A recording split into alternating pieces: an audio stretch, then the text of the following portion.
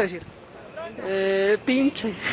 Está como güey, cabrón, puto, chinga tu madre. De, de todas las malas palabras, ¿cuál se le hace más fea? No sé, Marta. Mentiroso. Ojete. No. Yo creo que chinga tu... Güey. Sí. Pero no, es- no es tan fea. También, güey. Pues que chingas. Ay, pendejo. Ah, pendejo. Cabrón, güey, pendejo. Uno es güey, cabrón. Sería huevón. Tranquilos, señores políticos. No, este programa no está dedicado a ustedes. Bueno, habrá que verlo al final de este asu- asunto. Este programa es para las malas palabras.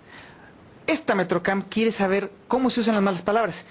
Quise empezar esta Metrocam precisamente con un pequeño sondeo que hicimos en las calles de Aguascalientes y para que vea usted, en primer lugar, que la gente, o cuando menos los aguascalentenses, no tienen mayor empacho en decir malas palabras. Algunos, no todos. Pero eh, déjeme decirle que se supone que el- la constitución política de los Estados Unidos mexicanos consagra en su articulado la libertad que tenemos todos los mexicanos, por lo menos, de decir lo que se nos venga en gana. Pero de pronto nos encontramos por ahí con algunos códigos, con algunos reglamentos, con algunas ordenanzas que de pronto nos salen con que no, no se puede decir malas palabras, no se pueden proferir insultos. E incluso hay algunos lugares en donde usted no puede decir absolutamente nada, ni siquiera levantar la voz, porque está prohibido. ¿No es esto una contradicción a la propia Constitución? No sé. Vamos a ver esta Metrocam y ya después veremos a ver qué pasa. En primer lugar, ¿existe el concepto de mala palabra en la ley? Bueno, se supone que un diputado debe de saber eso, así que le preguntamos a Luis Enrique Estrada Luébano si existe o no existe esto en la Constitución o en alguna otra ley. Bueno, no, no existen las palabras altisonantes ni malas palabras a nivel eh, constitucional. Si bien se hace referencia en algunas legislaciones a las palabras altisonantes, incluso en la propia legislación del Congreso del Estado, se habla de que los eh, diputados no, no podrán proferir insultos ni palabras altisonantes. No existe en, en ningún apartado de la legislación mexicana, el sistema legal mexicano, la, de- la determinación que es una palabra altisonante. Aún así, los léperos no podemos cantar victoria, y es que a final de cuentas la Constitución no garantiza en realidad el uso de las malas palabras. Por lo menos es lo que dice el abogado Jesús Eduardo Martín Jauregui. Yo creo que no. Yo creo que no. Yo creo que podemos distinguir la libre expresión de las ideas y otra, la libre expresión de pendejadas. Y creo que la Constitución no garantiza la libre expresión de pendejadas, ¿no? Pero en realidad tenemos que pensar que hay varias fuentes del derecho. Una fuente del derecho, una de ellas muy importante, desde luego, es la legalidad, la legislación, la ley. Otra fuente del derecho, desde luego, es la costumbre. Y aunque en nuestro país no se reconoce expresamente la costumbre como una fuente del derecho, en realidad las leyes tienen muchas, muchas referencias a esto. Hay muchas referencias que se hacen a la costumbre. Entonces yo creo que sí tiene que ver mucho con esto. La propia Constitución establece limitaciones en el artículo octavo, derecho de petición, ah, que señala expresamente que al referirse a una autoridad tendrá que hacerse de manera respetuosa. Y por otro lado también eh, en la propia Constitución existe el fundamento para la creación de los códigos penales y además para los reglamentos o los bandos de policía y buen gobierno. De manera que en realidad la injuria está en función no de la palabra, sino más bien de la persona a quien se le dice, de la intención con quien se le dice y de quién lo dice. Yo creo que en términos generales nuestra ley no restringe esto. Es más cosa de, de- de gusto. Finalmente creo que decía Oscar Wilde que el único verdadero pecado era el mal gusto. Antes de la existencia de estas generaciones más recientes tan cábulas, tan mal habladas, tan léperas y tan albureras, las maldiciones no eran palabras soeces ni vulgares, ni tampoco se referían al cuerpo, ni mucho menos.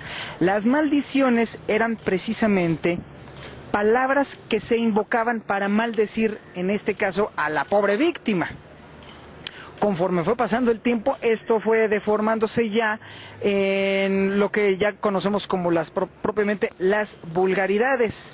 Aunque, aún así, hay quienes le dan a las palabras, a las malas palabras, a las vulgaridades y sobre todo al maldecir al vecino, una fuerte connotación de castigo. ¿Y quién mejor para eso que el propio obispo para que nos lo platique? De, acuerdo al dogma cristiano, este, alguien que blasfema consuetudinariamente podría llegar al infierno. Y si tiene voluntad de ofender a Dios, sí. A veces se dice sin voluntad de ofender. Ah, entonces ahí queda claro. Entonces, por ejemplo, si se ofende en todo caso al vecino, no es algo que tenga que ver con la iglesia. Sí, con Dios, con Dios porque cada vecino es imagen de Dios. Sí, y una, y una ofensa directa a, la figura de Dios. Esas son las que se llaman blasfemias. Las blasfemias. Ups, aquellos que son realmente religiosos están metidos en problemas. Pero bueno, los que estamos más metidos en el plano terrestre, más puestos los pies sobre la tierra, ¿estamos en problemas? Me temo que también. Fuimos hasta con el ombudsman de Aguascalientes para preguntarle si hay alguna ley o algún derecho que nos ampare para poder decir porquería y media, media calle. Ups, estamos en problemas. Porque por un lado está el derecho a la libre expresión, pero la Constitución establece también ciertos límites, es decir, no podemos eh, decir lo que querramos porque está el respetar también el derecho de terceros. Y en este sentido, bueno, pues ese es el límite. Cuando se dicen malas palabras es un tema, digo, que todos, aquí nadie puede decir yo estoy libre de pecado en algún momento de nuestra vida. Si no, preguntémosle a los veracruzanos, el, el, uso de las palabras o las connotaciones que a veces le damos al, contenido lingüístico de las palabras hace que muchas veces, bueno, las personas se sientan ofendidas. Entonces, en este sentido, eh, el límite que más recurrente va a ser el respeto al, que tenemos frente a nosotros. Hay leyes que prohíben, casi todas ellas, la mayoría de ellas en bandos municipales, donde nos eh, imponen algunas sanciones, algunos arrestos. Eh, sin embargo, bueno, el tema, más que, yo creo que más que evitar o sancionarlo desde el punto de vista de, un arresto administrativo o de una sanción pecuniaria, pues tiene que ver con el respeto al tercero y en este caso si con nuestras palabras causamos un daño, un daño al honor de alguna persona, bueno, tendremos que, eh, o será necesario, o la persona que se sienta dañada, o iniciar un procedimiento de carácter civil para eh, la afectación de, su, de, su, honor. Es decir, el derecho al honor también es un derecho que está protegido. Entonces ahí son los límites que tenemos, o los dos grandes derechos fundamentales que tenemos frente a la libertad de expresión y el derecho al honor. Vulgaridad, grosería, simpleza, marranada, leperara, albureadas, bueno, se llama, las estoy sacando de la manga, pero a final de cuentas sí hay eh, bastantes definiciones con respecto a lo que son las malas palabras. Pero hay un lugar en donde se supone aprendemos, y no se supone, claro que lo aprendemos ahí, aprendemos todas las malas palabras del mundo, y eso es en la escuela. ¿Cuál es la posición de Instituto de Educación de Aguascalientes con respecto al uso frecuente bastante de las malas palabras en la escuela, tanto de alumnos como de maestros? Oficialmente yo te podría decir que aun cuando pues, constitucionalmente existe libertad de expresión, nosotros tenemos que eh, formar a jóvenes, a ciudadanos competentes, pero gente con valores, gente que respete al prójimo, gente que se respete a sí mismo. Por tanto, hay determinadas palabras que no son propiamente las adecuadas para ser usadas y sobre todo y, y de manera muy especial dentro de los planteles educativos. Por tanto, nosotros sí vamos a favor de que dentro de un plantel educativo, que es un recinto muy importante, no se, no se manejen malas palabras, ni por los trabajadores ni por los alumnos. Es parte de la formación del ser humano, ¿no? Dirigirse con respeto hacia los demás. Así pues, amigos cibernauta, entonces el uso de las malas palabras desde que somos chiquitos, hombre, en la escuela se nos dice que está mal hecho. Ahora, hay escuelas en las que incluso la cosa se lleva al extremo. A mis espaldas tenemos a unos vigías que todo el tiempo observan a los alumnos. Y entonces, si nos vamos con el asunto del dogma y bla, bla, bla, bla, bla, bla, bla, pues a qué horas dice uno palabrotas, joder, incluso en algunas escuelas se llega al extremo de limitar no solamente las malas palabras, sino hasta incluso la posibilidad de decir cualquier cosa. Pero entonces este es el momento de ver a personas que trabajan con las letras, con las palabras, y esos inevitablemente son los periodistas. A ellos les preguntamos qué onda con las malas palabras. ¿Tú dices malas palabras? Eh, no, digo palabras altisonantes, quizá malas porque no soy un genio en la gramática, no soy un genio en el castellano, claro que sí digo malas palabras. Uh, confundo como muchos los el significado de cada una de ellas, ¿no? Bueno, no de todas, claro, pero sí decimos malas palabras, que no quiere decir que, que, que sean groserías.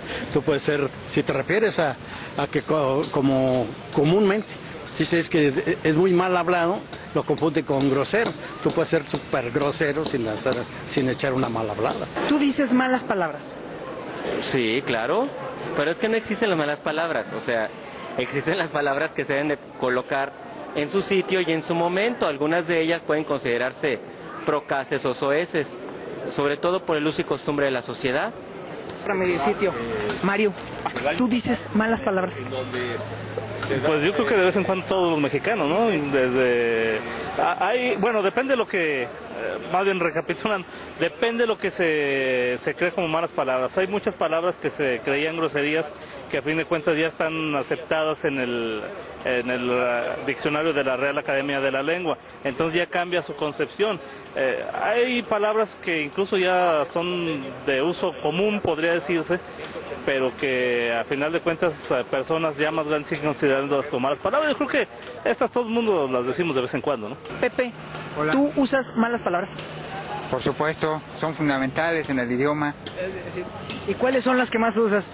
Eh, pues todas las que pude aprenderle a mi abuela.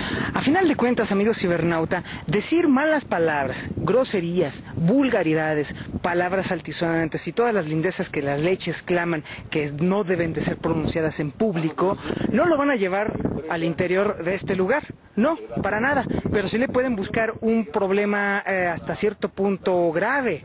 De hecho, el un diputado de esta legislatura se metió en problemas por, des- por decirle pendejadas a algunas cosas que hacían algunos diputados del PAN. Se trata de Abel Sánchez Garibay y vea usted su reacción. diputados que tienen el cerebro de hormiga, prácticamente lo único que daría es cuando vienen a exponer puntos de acuerdo, muestran su pendejismo legislativo, que eso lo contempla la propia Constitución, al final de cuentas te permite eh, decir y hablar como te dé la gana, pero pues no se vale venir a denunciar hechos personales para a partir de ahí, en la tribuna, hacerlo un hecho público y poderse defender y denostar a cuanto dirigente o líder partidista o representante popular se puede. En ese sentido, yo creo que no se vale que se tenga que usar aquí ese tipo de actitudes. Yo, yo creo que, de hecho, la iniciativa que presentó el propio PAN por andar hablando uno con palabras eh, soeces, pues no es más que la mochez con la que se piensa. Entonces, que no se vengan a morder la lengua de Santos cuando fuera de las cámaras son más mal, mal, mal hablados, en su propia casa ejercen ese tipo de lenguaje, y peor aún, cuando se molestan con ciertos personajes o hasta con el propio personal, de pendejo no lo bajan. ¿Sabes qué te voy a hacer, perrito? Te voy a destripar y voy a regar tus tripas por toda la calle. ¿Sabes por qué? Porque te detesto, te odio, eres el peor de los perros del mundo. Eres la cosa más asquerosa que he olido en mi vida.